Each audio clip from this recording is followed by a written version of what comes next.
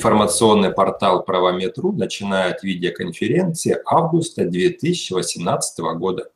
Представляю нашего, на этот раз, единственного участника. Дмитрий Гаганов, юрист в сфере медицинской юриспруденции Санкт-Петербурга. Дмитрий, рад вас видеть. Здравствуйте, Алексей. Тоже рад вас видеть. Здравствуйте, уважаемые слушатели нашей видеоконференции без одной сотой. Нас сегодня два человека, но это нисколько не умаляет те вопросы, которые я поставил на обсуждение в рамках видеоконференции. А сегодня мы будем рассматривать следующий вопрос. Можно ли использовать средства УМС в качестве источника расходов для выплаты медицинскими организациями по предъявленным искам пациентов? Это у нас уже 99-я видеоконференция с начала использования такого формата и 19-я с начала 2018 года. Традиционно от меня небольшое вступление.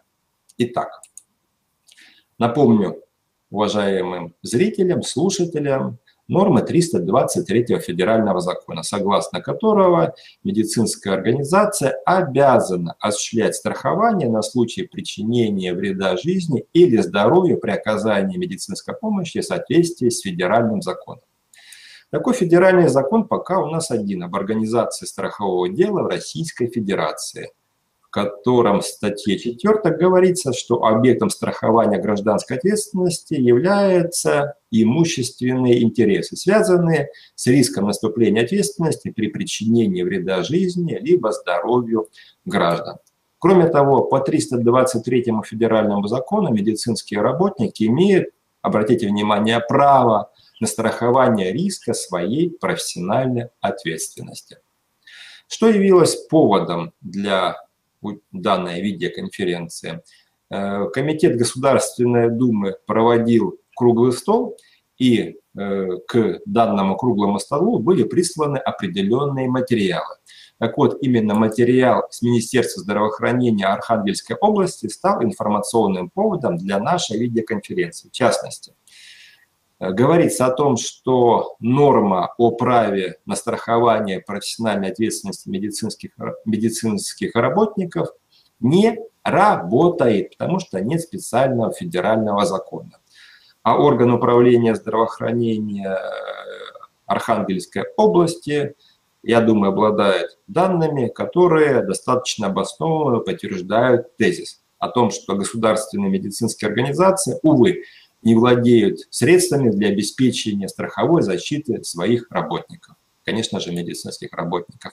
Поэтому Минздрав Архангельской области предлагает в законодательном порядке установить возможность для государственной системы здравоохранения расходы по страхованию профессиональной ответственности медицинских работников осуществлять за счет средств обязательного медицинского страхования или за счет средств федерального бюджета. Это мое небольшое вступление. А теперь переходим к тем вопросам, которые вынес на видеоконференцию. В общем-то, я озвучил о том, что есть обязанность страхования медицинских организаций. Но, Дмитрий, как вы полагаете, почему до сих пор не принят федеральный закон, который предусматривает именно страхование медицинских организаций на случай причинения вреда здоровью жизни граждан, пациентов при оказании медицинской помощи. 323 э, федеральный закон действует с 2011 года. В общем-то, уже 8 лет прошло. Итак, Дмитрий, ваш экспертный прогноз. Почему обязанность есть, закона нет? Мне, конечно, хотелось бы а, рассуждать как юристу в сфере медицинской юриспруденции. Но поскольку я с этим вопросом а, столкнулся вплотную, это был 15 год, а, судебное заседание, где в качестве ответчика была медицинская организация, сотрудник которой как раз был застрахован вообще в рамках программы страхования профессионального риска.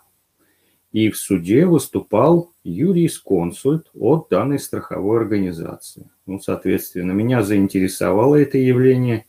Я подошел, спросил, задавал в том числе и вопросы, относительно которых вы поставили проблему. Он объяснил очень просто, что страховым организациям классическим, ну то есть те организации, на которых распространяется норма федерального закона о страховом деле, они не заинтересованы в таком страховании. Был определенный период на 14-15 год, а, когда вот это вот страхование рисков профессиональной ответственности стало модным. А, своеобразные пилотные проекты по всем регионам России были. Но они тихо, что называется, заглохли. А, страховая организация объясняет тем, что первое это им невыгодно, второе они не видят поддержку государства в этих начинаниях. Соответственно, этим заниматься они не будут. Что-то похожее было реализовано в рамках саморегулируемых организаций в области, в области строительства и проектирования. Там страхование вот этих вот профессиональных рисков участников СРО. Ну, опять же, там было вскрыто очень много, конечно, подводных камней. На сегодняшний день а, реализованным считается это страхование ответственности перевозчиков. Например, когда вы ходите в маршрутное такси, там висит объявление «Договор страхования номер такой-то». Вот как раз.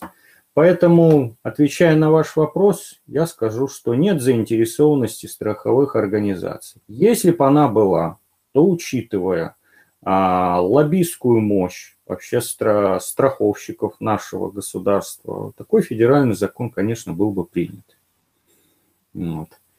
Что еще сказал этот страховщик? Он сказал, что не разработана сама шкала рисков. Как он объяснял? Понятие риска в гражданском законодательстве у нас разработано мало – в отличие, например, от англосаксонской системы, что очень мешает внедрению данной системы страхования. Вот что я бы хотел сказать, Алексей Валентинович. Благодарю, Дмитрий. Некоторые выводы из того, что вы сказали. Страховщики не желают, неинтересно, воли государства нет.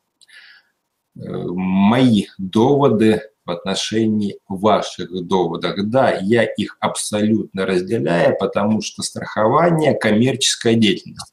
Ну, за исключением обязательного медицинского страхования и с головой окунаться в новый вид страховых отношений, частные, частная форма собственности будет в том случае, если видны какие-то перспективы получения дохода. Либо имеется воля государства окунуть в эти правоотношения страховые компании.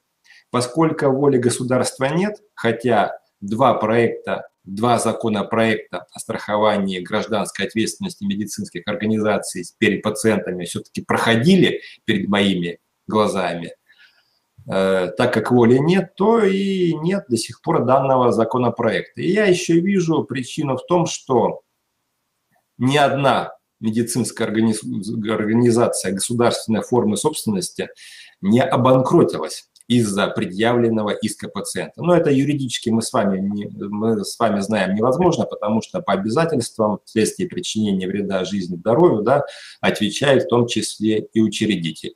А так как э, размеры выплат ну, не являются какими-то запредельными, и э, органы управления здравоохранения регионов Минздрав как соучредитель федеральных государственных бюджетных учреждений здравоохранения не понес какие-то расходы, то, соответственно, нет имущественного интереса что-либо продвигать. А основной законотворец в рамках законопроектной деятельности, конечно же, Минздрав России. Поэтому я полагаю и подтверждаю ваши доводы, разделяю их, что прежде всего нет воли государства. Хотя Минздрав Архангельской области, я приводил пример, эту позицию не разделяет. Давайте с вами сейчас перейдем ко второму вопросу, вынесенному на тему видеоконференции. Минздрав Архангельской области предлагает использовать средства УМС для страхования профессиональной ответственности медицинских работников. Как вы полагаете, если это будет реализовано, какие могут быть механизмы использования средств ОМС в качестве вот таких страховых взносов для страхования гражданской ответственности медицинских организаций. Прежде всего мы говорим о медицинских организациях перед пациентами. Дмитрий, поскольку нас двое, вы выступаете первым. Я предполагаю, что если по такому пути а, пойдет наше государство, как мы выше сказали, что требуется, конечно, государственная воля, то а, возможен вариант заключения территориальными фондами обязательного медицинского страхования особых договоров, договоров с а, уполномоченными страховщиками в данном направлении. То есть это будут отдельные организации – а, не а, получившие лицензию на обязательное медицинское страхование, но использующие средства а, из вот этих государственных фондов денежных средств.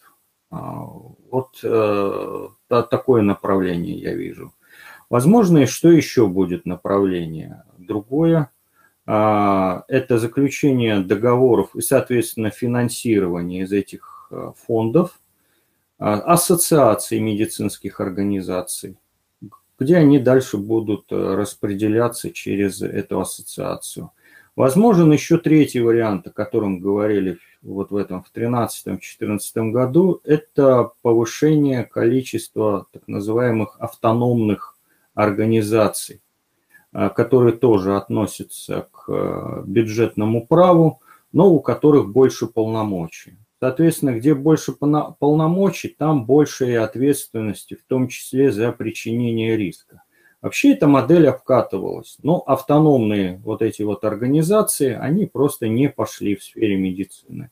На одной из конференций вы говорили, что так, такой организационно-правовой формы очень мало по Российской Федерации, там буквально единицы. Вот. Вот э, что я предполагаю. А, соответственно, особая отчетность будет вот у этих уполномоченных страховщиков, которые будут отчитываться перед специальными фондами ОМС. А также изменение законодательства о государственных гарантиях. Я вижу, что если будет реализоваться. Я закончил. Благодарю, Дмитрий. Как всегда, продолжаю. Мы с вами знаем, что есть структура тарифа на медицинские услуги в рамках обязательного медицинского страхования. Увы, такой статьи расходов в структуре тарифа не предусмотрено. Но, опять же, мы с вами знаем, что пару лет как появился нормируемый страховой запас территориального фонда ОМС, который формируется за счет какой-то деятельности самого территориального фонда, допустим, размещение на депозите э, временно свободных средств. И туда еще стекаются определенные части тех штрафных санкций, которые применяют страховые медицинские организации к медицинским организациям в рамках своей, своей деятельности по контролю за медицинской помощью. И сейчас мы с вами знаем, эти средства можно использовать на повышение квалификации медицинских работников, ремонт, покупку нового медицинского оборудования. Я полагаю, что э, в рамках именно нормированного страхового запаса территориального фонда ОМС могут быть и составляющие, которые используются для Э, в качестве страховых взносов по страхованию гражданской ответственности медицинских организаций. И тот алгоритм, который вы предложили, Дмитрий, я поддерживаю в рамках договорных отношений между территориальным фондом ОМС и страховой компанией могут перечисляться данные взносы, которые формируются в рамках нормированного страхового запаса. То есть источник имеется вполне реальный, но необходимы только законодательные изменения. Почему штрафы, налагаемые на медицинские организации на повышение образования медицинских работников идут, а на выплаты в качестве страхового возмещения и в качестве страховых взносов для страхования ответственности воспользоваться не могут. Я каких-либо преград для этого не вижу. Но это мой алгоритм возможного использования средств обязательного медицинского страхования. И третий, заключительный вопрос, который я, как правило, ставлю во всех видеоконференциях. Обязанность страховать ответственность есть. Закона нет. Дмитрий, ваш прогноз, когда может появиться такой федеральный закон страхования ответственности медицинских организаций перед пациентами на случай причинения э, вреда жизни и здоровью при оказании медицинской помощи. И что может явиться спусковым механизмом появления такого закона? Слушаю ваши доводы. Спасибо за вопрос. Бой. А, как я считаю, что а, переходный процесс сейчас реализуется? О чем я говорю?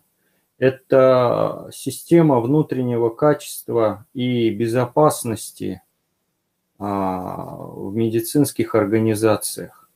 Внутри этой системы, в том числе и на основании рекомендаций Росздравнадзора, внедряется система рисков. Туда же, как мне кажется, направлены и опросные листы, так называемое отнесение к категории рисков.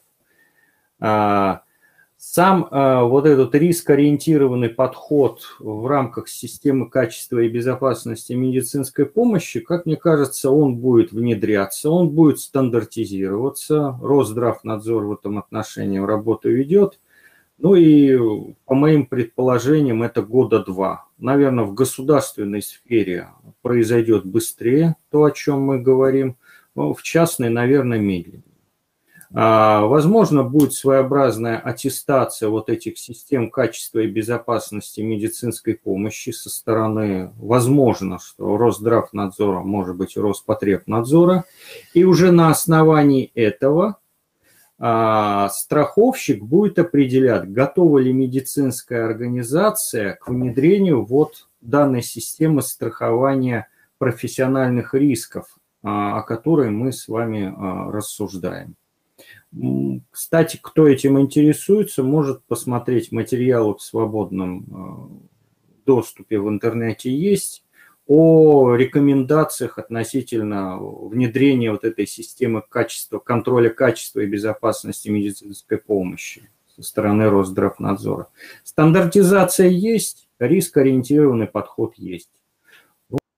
Как мне кажется, вот сейчас реализуется. То есть ваш ориентир примерно годика два, когда станет понятны статистические данные использования риск-ориентированного подхода в здравоохранении. Я с вами несколько не согласен. Почему? Потому что, во-первых, мы с вами на одной из видеоконференций озвучивали довод из указа Владимира Путина, нового майского указа о создании системы защиты прав пациентов. А страхование ответственности медицинских организаций перед пациентами, на мой взгляд, отсюда напрямую вытекает. Во-вторых, э, был Госсовет по защите прав потребителей, и там тоже ставился вопрос о защите прав потребителей. Поэтому с одной стороны, я с вами все-таки согласен в части возможных двух лет применения результатов статистики риск-ориентированного подхода, но вдруг на политическом Олимпе Владимир Владимирович Путин на каком-то совещании, либо прямой линии, на ответы на вопросы, кто-то ему задаст вопрос – а почему у нас до сих пор нет страхования ответственности медицинских организаций перед пациентами? И если будет заявлена политическая воля, то ваши прогнозируемые два года могут превратиться в ну, гораздо меньше срок. Потому что у нас глава государства определяет не только внешнюю, но и внутреннюю политику, в том числе вопросы социальной сферы. Так что мы с вами, с одной стороны, идем в одной юридической плоскости мысли, другой стороны, у меня вот есть такие доводы. Э, у вас есть что-то добавить в рамках третьего вопроса? Да, мне пришла просто мысль, что э, возможен э, возможно, будет ужесточен контроль, связанный с внедрением а, вот этой системы внутреннего контроля качества безопасности медицинской помощи. И кто у себя его не внедрил, того будет просто приостанавливаться лицензия.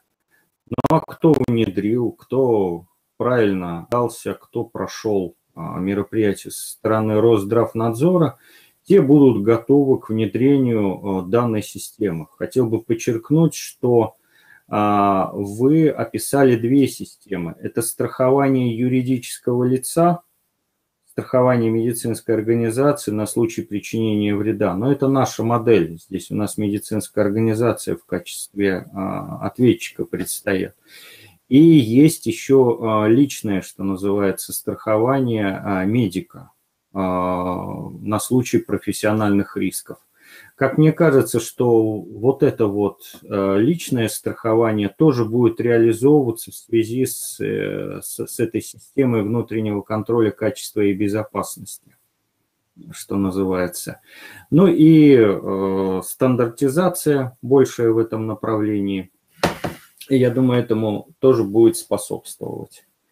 Э, так что очень может быть, что процесс убыстрен тем, у кого данная система не внедрена. Возможно, что будет еще одна система подготовки к страхованию. По ней тоже отчитаться. Кто это не сделал, того приостановит лицензию. Ну, а остальных, э, как говорится, пригласят в эту систему. Довольно чего. Страхуйте свои риски во благо защиты прав пациентов. Дмитрий, мы с вами прогнозы сделали. Сервис видеоконференции, возможность обсуждения актуальных вопросов, несомненно, я буду продолжать.